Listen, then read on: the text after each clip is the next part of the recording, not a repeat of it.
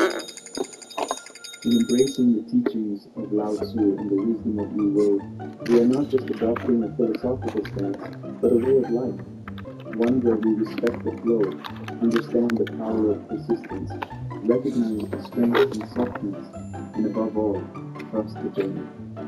For in the end, like water, we will find our way, shaping paths and carving destinies, one gentle ripple at a time.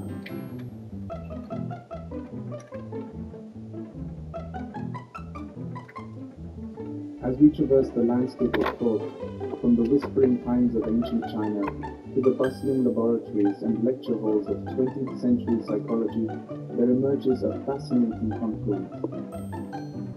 The wisdom of Wu Wei, as it meets modern psychological understanding, finds a vibrant echo in a term that's piqued the interest of thinkers, athletes, artists, and professionals alike, the flow state. Mihaly Csikszentmihalyi, a pioneering figure in positive psychology, introduced the concept of flow to the wider world through his groundbreaking research. He describes flow as a state of complete immersion in activity, wherein an individual is so engrossed that everything else seems to fade away. Time appears to walk, self-consciousness diminishes, and all that matters is the task In Csikszentmihalyi's own words, Is a state in which people are so involved in an activity that nothing seems to matter.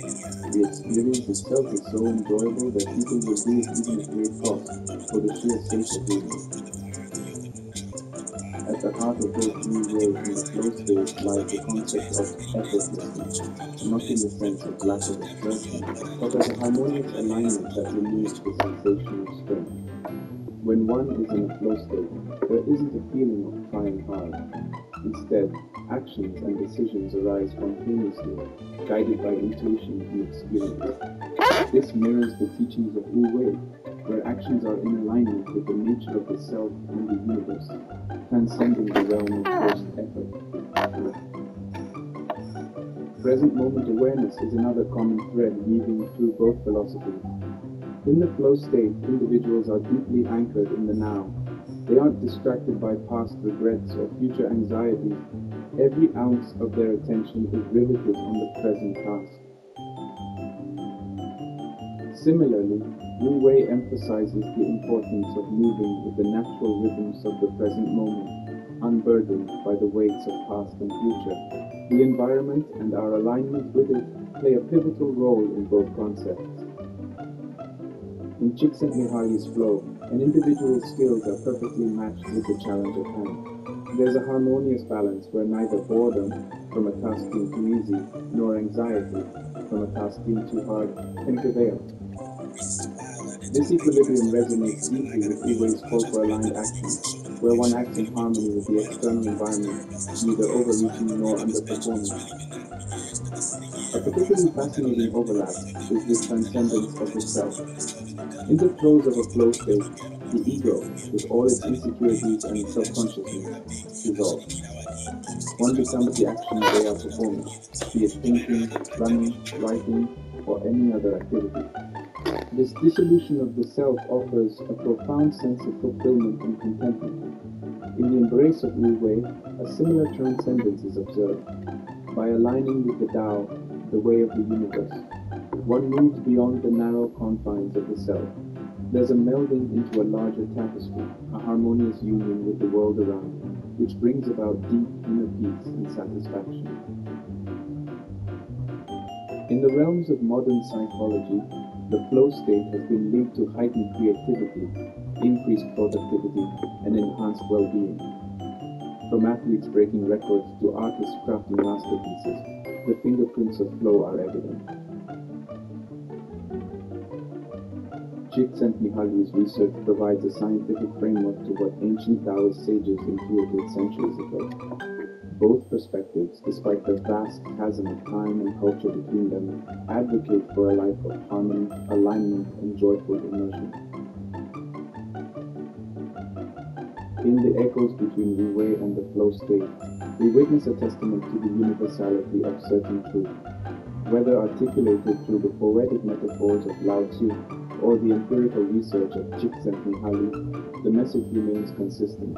True fulfillment and excellence arise not from strained effort, but from harmonious alignment with oneself, the task, and the world.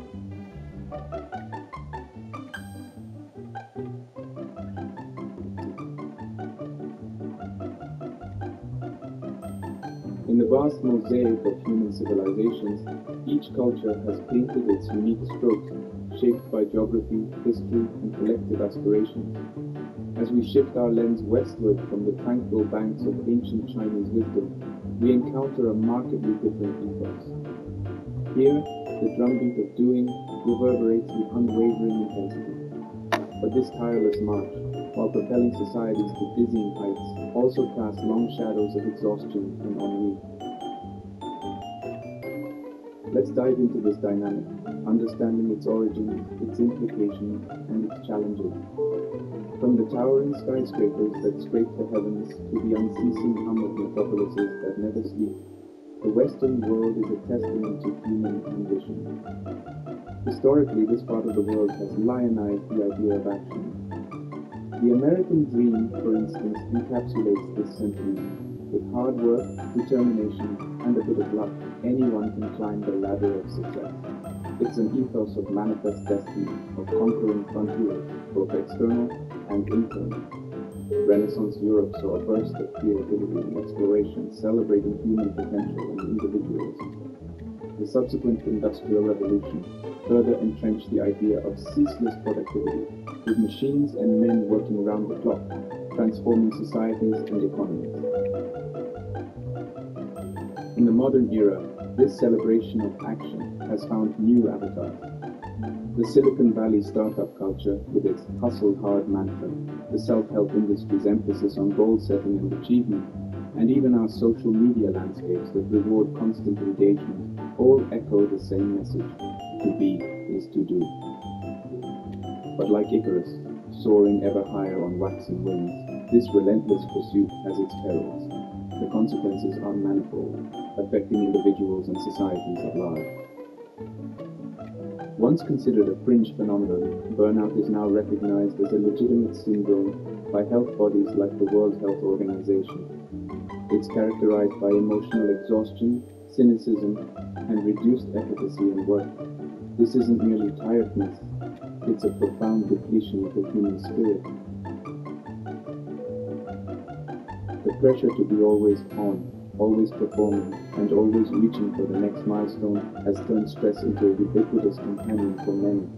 Chronic stress, as numerous studies suggest, has debilitating effects on physical health, mental well-being, and overall life satisfaction. Ironically, the obsession with constant action often leads to inefficiency. The myth of multitasking, the inability to disconnect, and the erosion of deep, focused work means that while we might be busier than ever, we aren't necessarily more productive. The quality of output, creativity, and innovation often suffers in the relentless churn of activity. Amidst the endless hustle, there's a creeping sense of existential void. Many begin to question the purpose of their incessant efforts. Is it merely for material accumulation, social validation, or is there a deeper meaning to life that gets obscured in the blinding dust of constant movement? The Western emphasis on doing has undoubtedly led to remarkable advancements, innovations, and improvements in living standards. But as with all things, balance is crucial. The pendulum, which has swung towards relentless action, might need some recalibration. Eastern philosophies, with their emphasis on being, on harmony, and on aligned action, like the concept of Wei we explored, offer a counterpoint. They invite a reconsideration of our relentless pursuit, suggesting that sometimes in letting go of forced effort, in tuning into the rhythms of nature and life, and in embracing stillness amidst the storm, we might find not just peace, but also a more profound, sustainable, and joyous productivity. As our world becomes ever more interconnected, there's an opportunity, a necessity even, to engage in a cross-cultural dialogue, to understand the strengths and limitations of different worldviews, and weave together a tapestry that draws from the best of both. In this synthesis, there's hope for a future where achievement and well-being walk hand in hand, where the rivers of action and introspection merge, leading us to shores of greater understanding and fulfillment.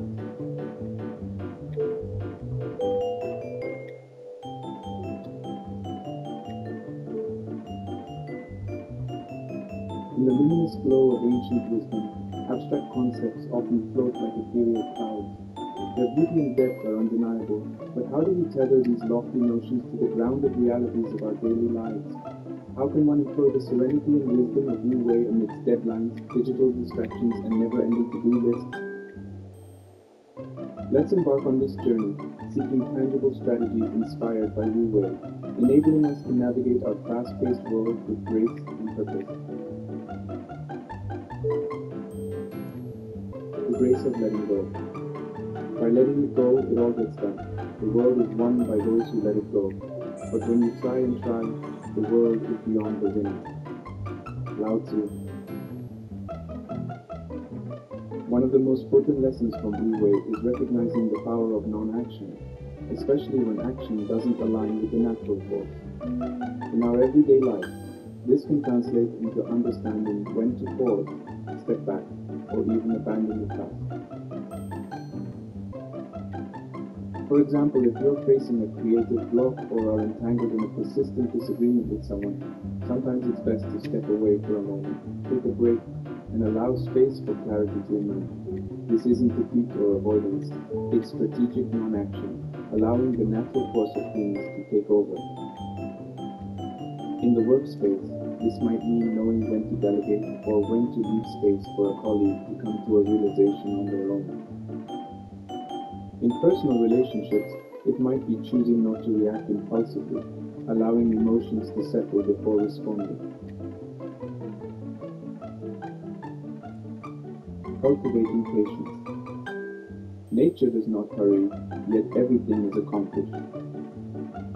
Understanding the rhythm of life, trees don't sprout overnight.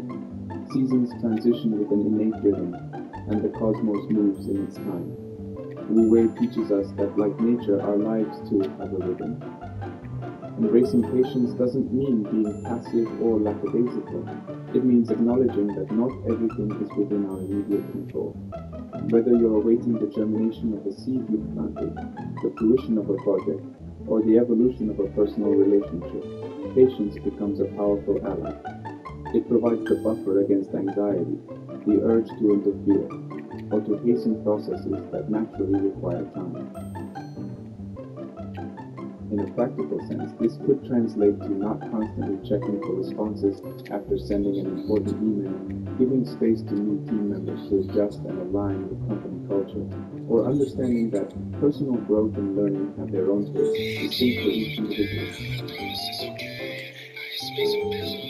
The paradox of over-effort. Trying to control the future is like trying to take the master carpenter's place. When you handle the master carpenter's tools, chances are that you'll cut your hand. In our obsession with results, we sometimes believe that putting in more effort, working longer hours, taking on more tasks, pushing harder, will be a better outcome. Wu Wei challenges this notion. Imagine trying to write a pen by applying excessive pressure. Not only will the writing be messy, but you might also damage the paper or break the pen. Similarly, over-effort in our endeavors can lead to burnout, reduced efficiency, and can sometimes even sabotage the very goal we're trying to achieve. Over-preparation for an event might make you anxious and less adaptable to changes. Pushing a team relentlessly might lead to decreased morale, innovation, and productivity. In personal spheres, pressuring a relationship to progress at an unnatural pace might strain or break it. The teaching here is to find the balance between action and inaction, ensuring our efforts align with the natural progression of things. It's about trusting the process, giving our best, but also understanding that excessive force is not just unnecessary, but often detrimental. Embracing the lessons of Wu Wei in our contemporary world might seem like a challenge, but these age-old teachings aren't in opposition to action. They are a refined approach to it. It's about harmonizing with the flow of life, understanding when to act, when to wait, and when to retreat. As we integrate these lessons, we find that the wisdom of the ancients can indeed illuminate our modern paths, guiding us towards a life of balance, fulfillment, and profound understanding.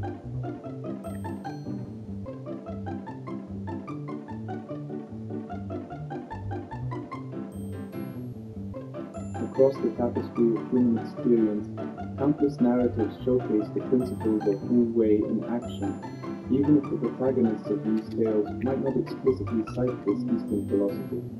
From boardrooms to sports arenas, artists' studios to personal narratives, there's an abundance of evidence suggesting that sometimes less truly is more. Let's traverse these varied landscapes, discovering stories where effortless action made all the difference the inception of 3M's post-it notes. One of the most iconic products to emerge from the corporate world, the post-it note was, in essence, a byproduct of an experiment gone wrong. Dr. Spencer Silver, a scientist at 3M in 1968, was attempting to develop a super strong adhesive. Instead, he accidentally created a low-tack, reusable, pressure-sensitive adhesive.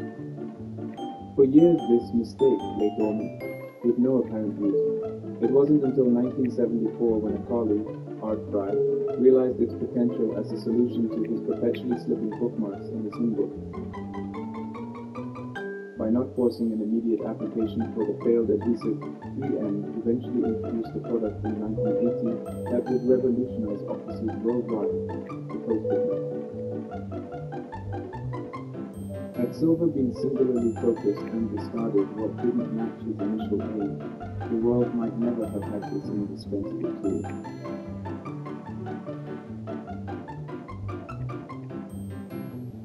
The Beatles let it be. In the turbulent waters of creativity, sometimes stepping back allows the tides of inspiration to flow freely. During a period of internal disagreements and external pressures, Paul McCartney dreamt of his deceased mother who told him, let it be. This dream not only inspired the song but also represented a philosophy that McCartney and the rest of the Beatles began to embrace. Instead of forcing creativity amidst chaos, they allowed things to unfold naturally. The result? One of their most iconic songs and albums. It's a testament to the power of surrendering to the moment letting go of the need to control and allowing creativity to blossom in its own time.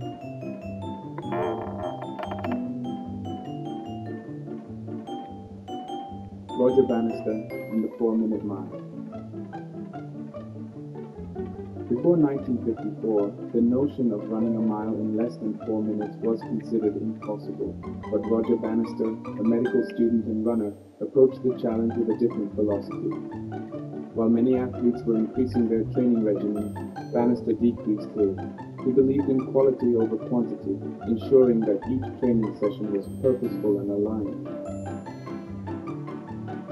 He did not force himself into excessive routines or succumb to overtraining.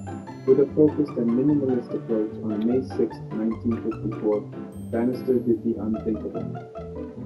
He ran a mile in 3 minutes 59.4 seconds. His accomplishment was not just about physical prowess, but also about understanding the rhythm of his body and knowing when to push and when to rest.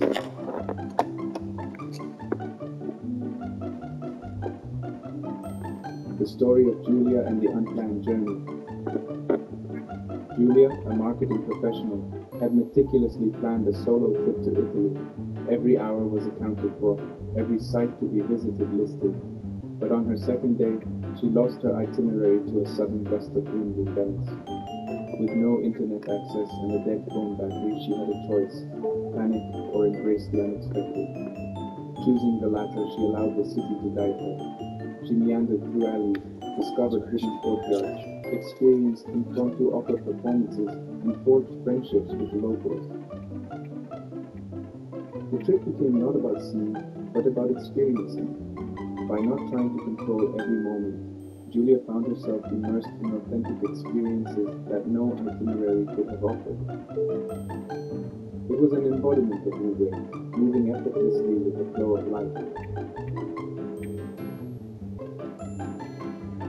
These stories, spanning different domains, echo a singular truth. There exists a magic in not forcing outcomes, in understanding when to act and when to yield. They highlight the harmony that arises when humans, despite their innate desire to control and predict, align themselves with the more organic, often serendipitous flow of existence. Whether in the throes of innovation, the swirl of creativity, the adrenaline of sports, or the unpredictability of personal journeys, the principles of Wu Wei shimmer through, teaching us timeless lessons about balance, patience, and the unparalleled beauty of letting things be.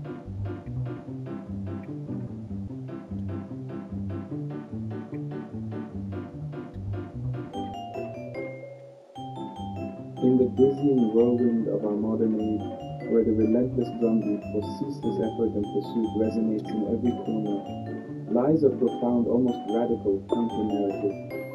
The gentle whisper of Wu Wei, beckoning us towards the allure of effortlessness. It feels almost audacious, this idea of non-doing, especially when set against the backdrop of a world that equates busyness with work and hustle with success. Yet, as we traverse the vast landscapes of history, business, art, sports, and personal stories, a resonant theme emerges. It's the discovery that, paradoxically, it's in the spaces between our actions, in our pauses, in our yielding, that the true essence of life often reveals itself. It's in recognizing that sometimes the most potent action is in not acting, in allowing life's river to carry us forward, rather than tirelessly swimming against the current. However, this isn't a call for passivity or an invitation to abandon our goals and aspirations. On the contrary, it's a nuanced dance between knowing when to lead and when to follow, between steering the ship and letting the winds guide us. It's about redefining our understanding of success, not as the destination arrived at through sheer force, but as the journey undertaken with grace, alignment, and intuitive wisdom.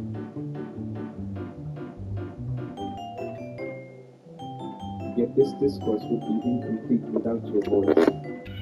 As we conclude this exploration, we extend an invitation to each of you to share your tales of serendipity, of moments when non-doing illuminated your path, of times when letting go led you to destinations you'd never envisioned, and more so, to experiment with the principles of Wu Wei in your daily endeavor. For in this collective sharing and mutual experimentation, we not only enrich our individual lives, but weave together a tapestry of experiences, painting a world where effortlessness isn't a luxury, but an exquisite art form we all have the privilege to practice. In embracing Wu Wei, perhaps we'll find that the most profound truths of life aren't shouted from mountaintops, but whispered in the silent corridors of understanding, waiting for those willing to listen, to discover. Let us embark on this journey together, carving paths illuminated by the gentle glow of effortless action, and in doing so, redefine the contours of a life well lived.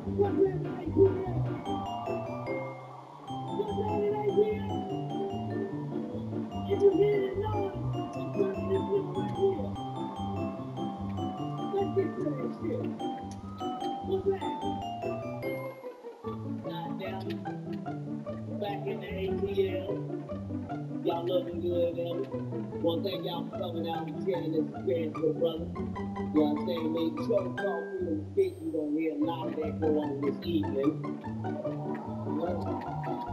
Because as you can tell, they been fucking with me all year. Yeah, I've been on TV more than a nigga been in the movie this year. You know, I was on TV originally for a record car. Now, I told them we drive to Gump you know, we were doing this race, man. Me, Mike, that's the thing, only Chinese motherfucker I know that. That little motherfucker. And uh, uh, Lil Bow Wow and Jermaine Dupri. Now, I ain't sure that ass is doing like 20 miles going around the track. It's like, what fuck this. So the is saying what we're going to do. We're going to go. You know, it's like a rich household. We're going to do shit. Riding the top of the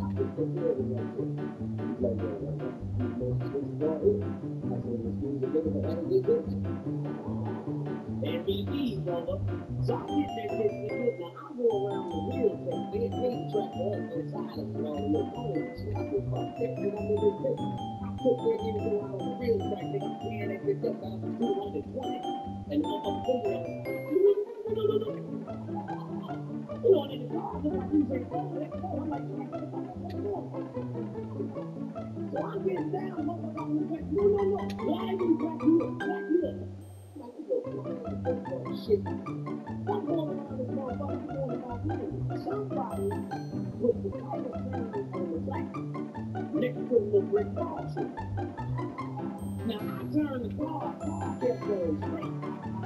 Nigga hit brick wall, motherfucker get a 360 in the little fire. Nigga, I'm like, this nigga live. Now airbag works in that motherfucker. All three of them came out. Black, black, black. I the you ain't never had airbags before, bro. Nigga,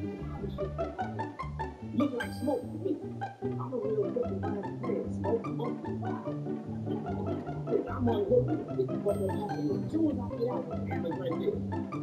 You understand me? That's what I'm doing. They got little good with blue though, with the fucked up side. You know what I mean? Eddie didn't work off. Nigga, I'm doing the shit, and then the corner, I feel like, I'm going to go to the body. There we go. Take that. So going to say that. So I go, yeah, coming up to me. So The white people do it ambulance, but we black people say ambulance. So I'm in the ambulance, and they put the little white monitor shit on me. They come out with $225 I was going. Over 190 something like, like to go to the hospital. I said, motherfucker, get your fucking face up, man, do a break motherfucker walk. He let me have a point there.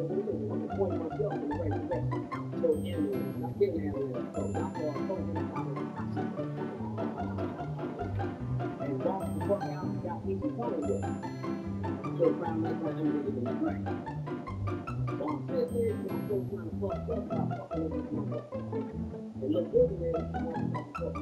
you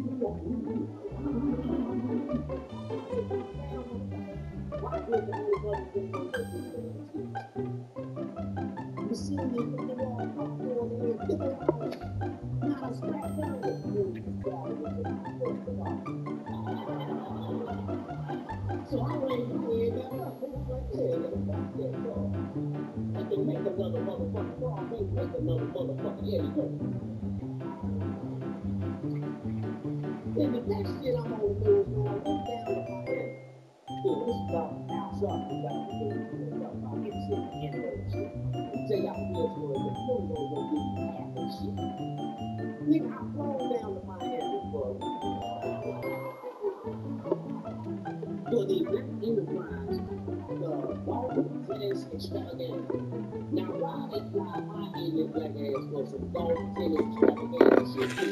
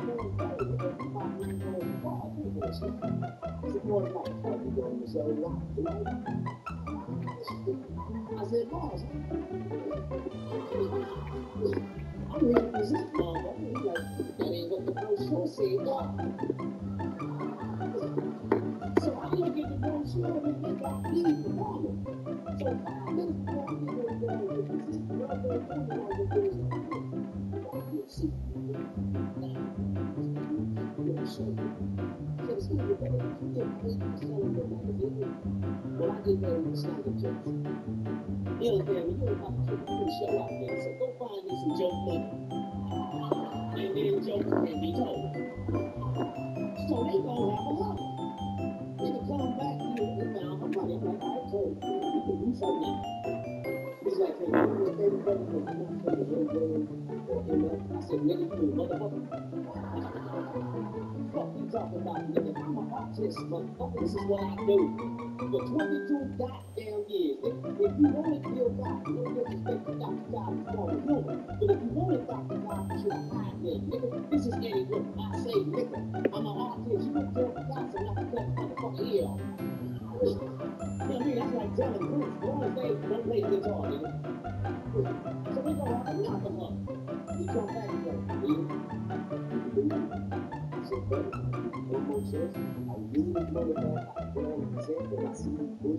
Those motherfuckers that I just might. He said, no, Ed, you can do you. I said, I'm gonna give you one more chance, nigga. He said, no, Ed, you can do you. I said, right, cool. They got go on stage, I grab the mic, and them niggas back there tripping. They gonna tell me not to say the N-word, that would be nigga. So I guess I have to say motherfucker, motherfucker, motherfucker. I said, I don't even know what the motherfucker trip is. OJ killed a white woman. Watch. Kobe supposedly raped one. Watch. Michael Vick killed a dog. The nigga going to jail. That's when they cut the mic off.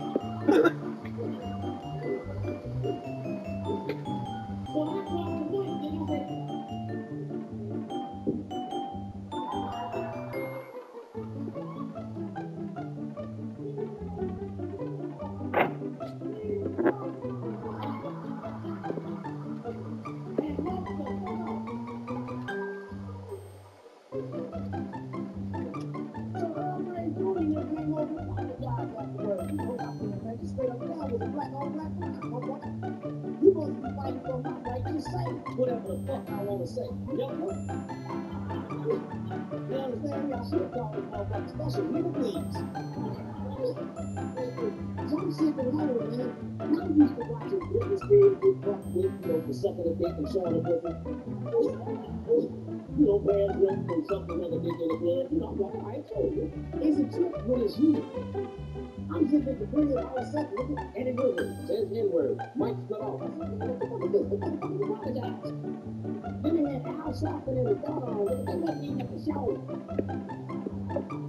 Is shit that pissed me off, brother. I, I know this motherfucker. When I'm in New York, in the audience having a nigga good time. In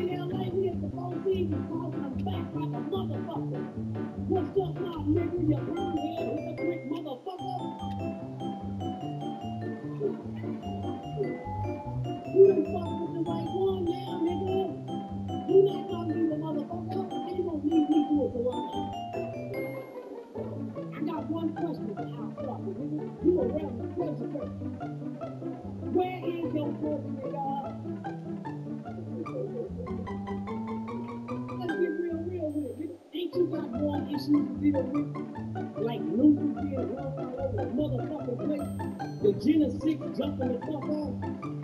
All right, the folks being up next month if they don't pass the bill of rights for this motherfucker. But you wanna fuck with a comedian saying nigga, nigga, fuck you. Or I should call nigga, please. Fuck all you crazy motherfuckers. Look, I am a nigga and proud to be there. You understand me? This African. And that's what this. Not this nigga here. Give another black man. It's a term of endearment that we use amongst ourselves. White people do not say and you'll get fucked up. They don't say nigga, they say nigger. See, if they growling fuck, the er sound like they growling, the er. That shit sound like and nooses and shit. You know what I'm saying? Nigga is a term for nigga. When I say that's my nigga, that's ride or die. That means you do what the fuck you got to do. Him all finish together, nigga. You know what I'm saying? It don't even sound right to say that's my African American. That's my black guy. No, that's my nigga. You know what I'm saying? White people got their word they call other redneck crackers. Ain't nobody telling Jeff Foxworthy motherfucking ass to stop saying you a redneck either. They always concerned with what the fuck a nigga said.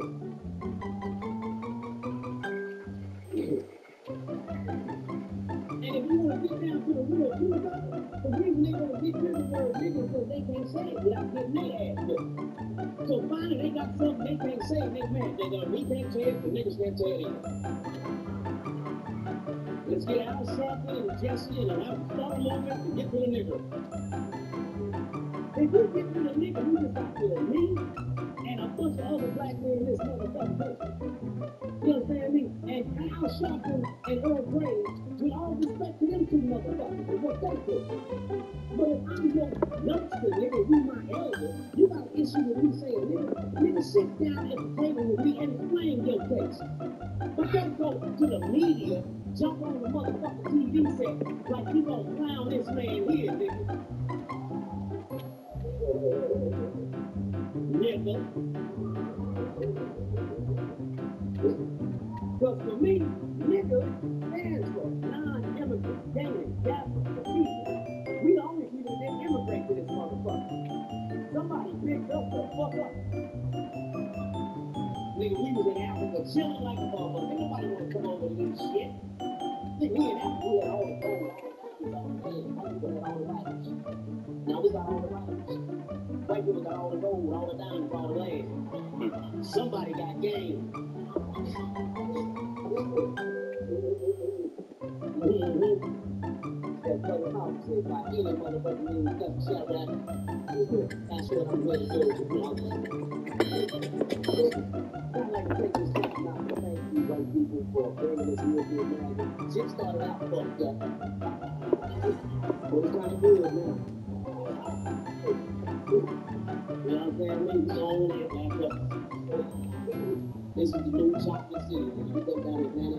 Chocolate, chocolate, chocolate.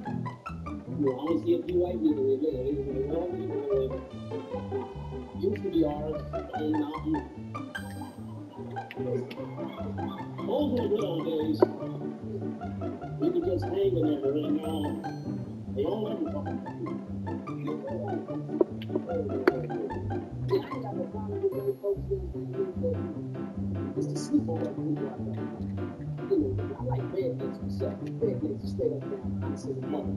Every time I do a show in the South, come out and say, You funny man. You motherfuckers go straight up. You man. I John. Next thing you know, chilling, having a. I don't like them sneakers right here. You you okay.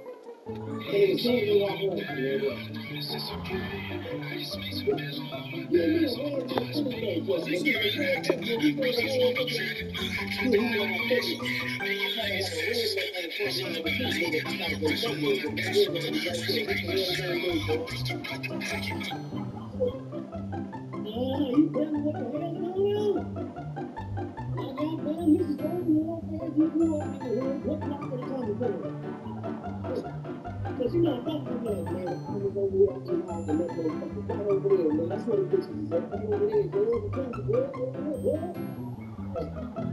Niggas in our rap sleepwalking, nigga.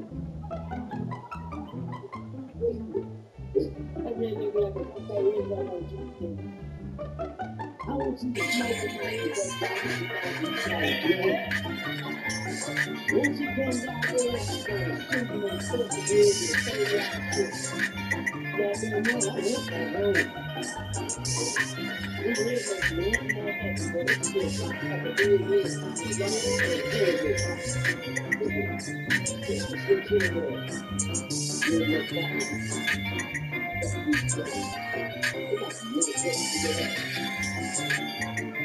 for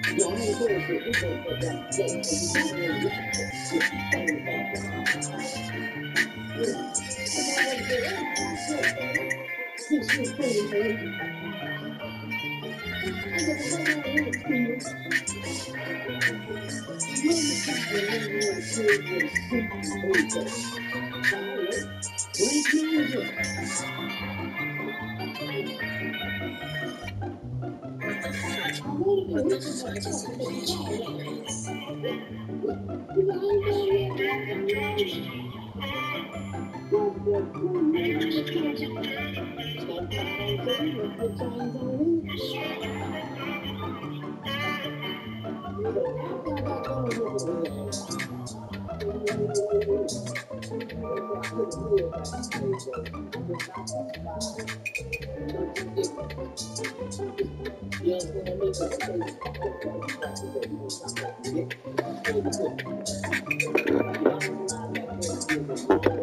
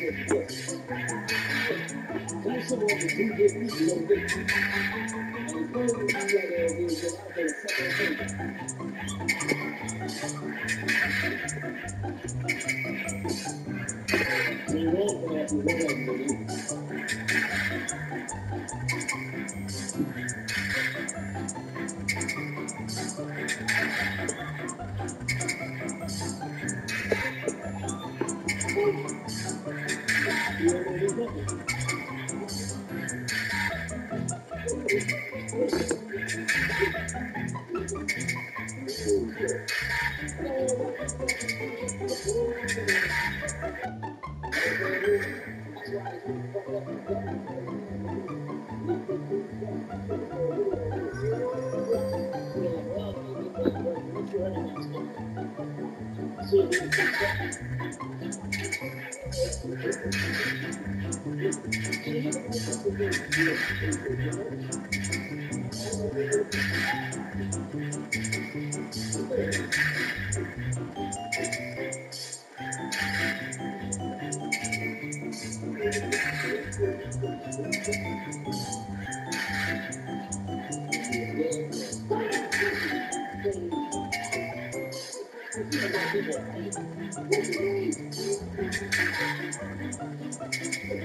Yeah.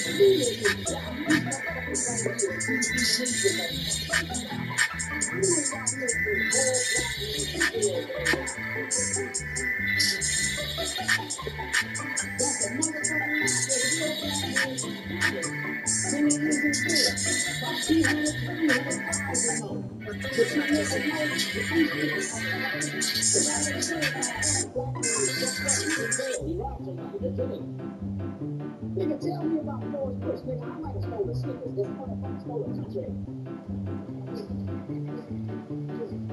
This retarded motherfucker. And nothing against retarded people, but them motherfuckers smarter than this ignorant motherfucker. You know what I'm saying? I can't wait till this motherfucker gets the fuck out the office. He got to go.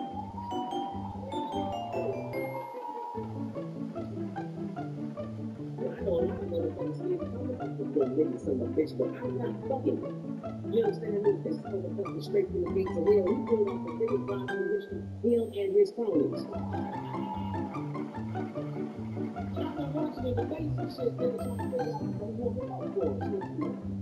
out and I like Obama a little bit, but there's something slick about that nigga. What I mean?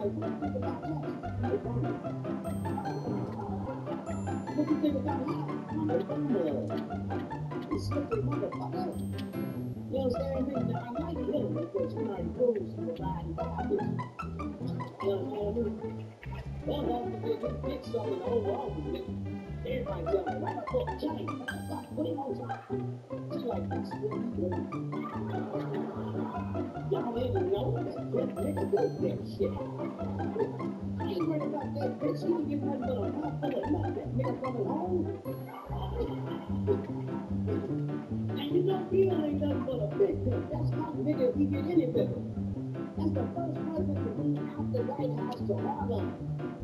I'm at 26th Street. He like, fuck it. I know these white people want to kill me. I'm going to surround myself with nothing but niggas. Y'all have to make it through these niggas here and me. And you know he can't be like, really? You gonna run for the Senate. I don't want to be a senator. Bitch, what did I say? Then after that, you gonna run for the president. I don't want to be the president. That nigga gonna fuck around and back in the White House getting his dick sucked again. And this time, Ricky on camera, he's like, I'm gonna fuck you the president.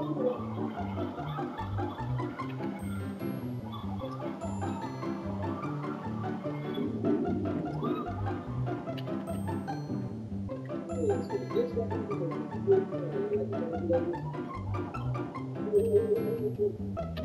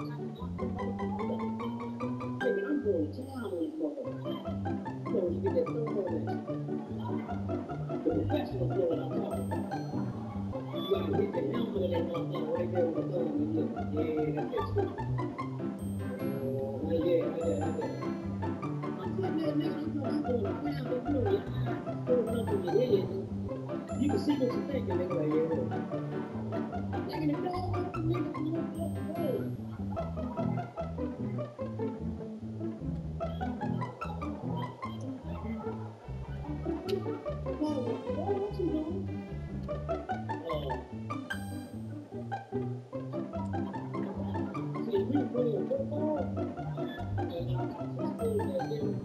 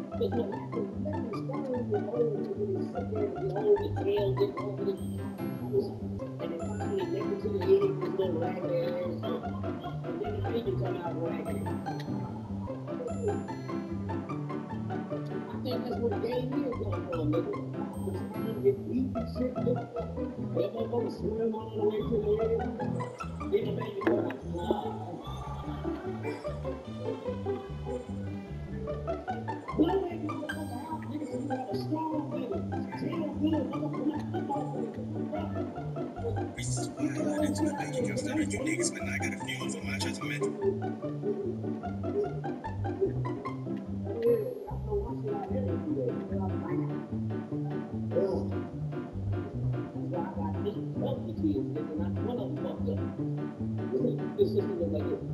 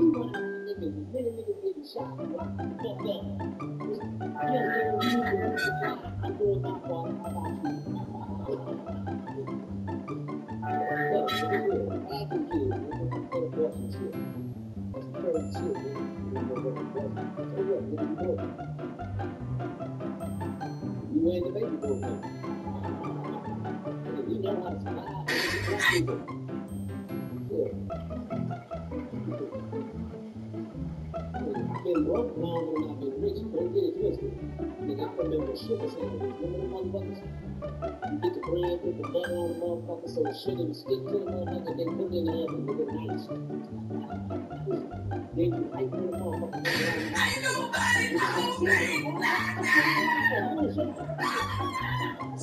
Nigga, not mayonnaise, mustard sandwich, nigga, mayonnaise slip. All right, ladies and gentlemen. Mustard sandwich, nigga, but the tail, the tail, the mustard All right, ladies and gentlemen. Let me give you guys a tour of what I was doing this weekend. We got a base. We got a valve right here. Before, previously, it was a tub, so we had to move the water pipes. Also, vents were in the way, so that stuff. With the base down, we got this fancy contraption. Move this around here. Previously, the water in the drainage would go to the floor, so we moved them into the wall, and so now they're out of the way for the new vanity. Nothing will be shown, and we put this guy on for some safety.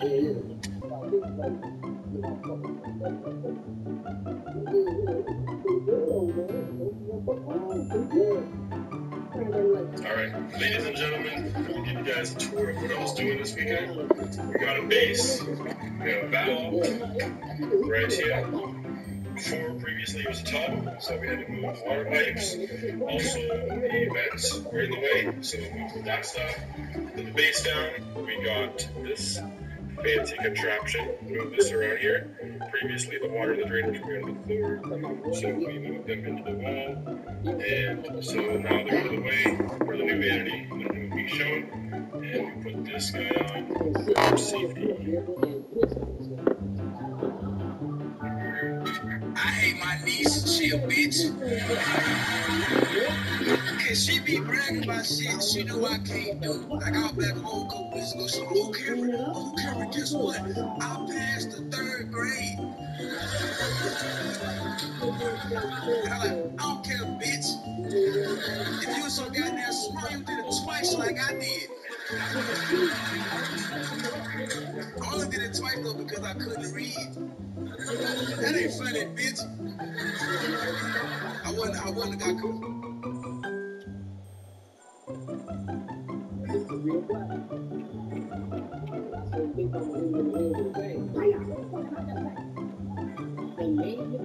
of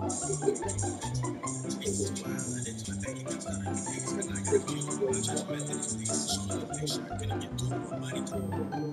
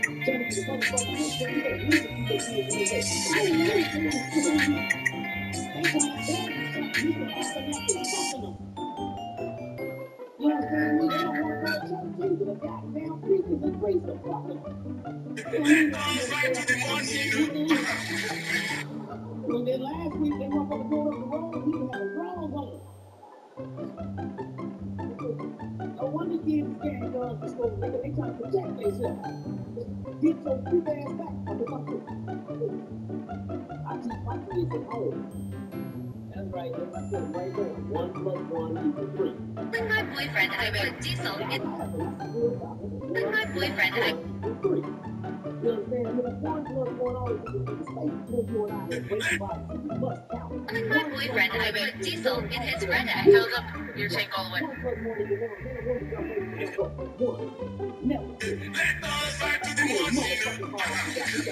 And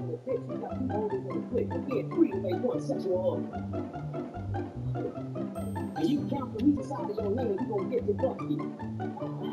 Traitor.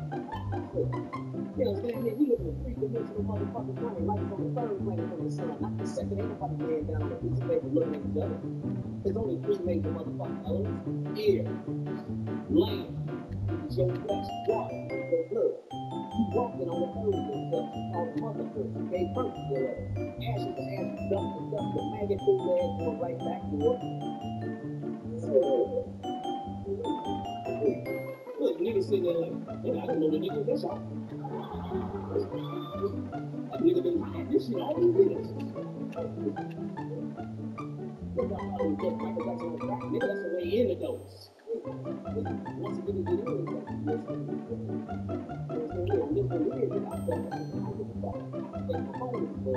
go, listen. I ain't stopping to tell you. I don't really like it. I mean, we got plenty of good deals with this fucker here with the rock stuff like that. Motherfucker said, Bill was relative, equal versus square times two, right? It don't need, we can just move from been over 40 years and still a motherfucking theory. It's gonna be a fact. You understand me? Meaning energy equals mass squared times two, right? But this is true. I come a little motherfucker Because he left one small detail out of his equation, spirit. Or as in the uh, Asian philosophy, call it chi, strong. A little motherfucker